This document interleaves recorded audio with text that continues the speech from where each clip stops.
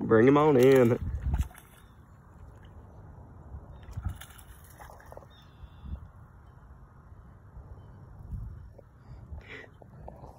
Testing the old 12 footer.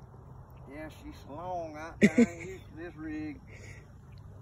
It'll bring them in. Pretty fish there. Healthy fish.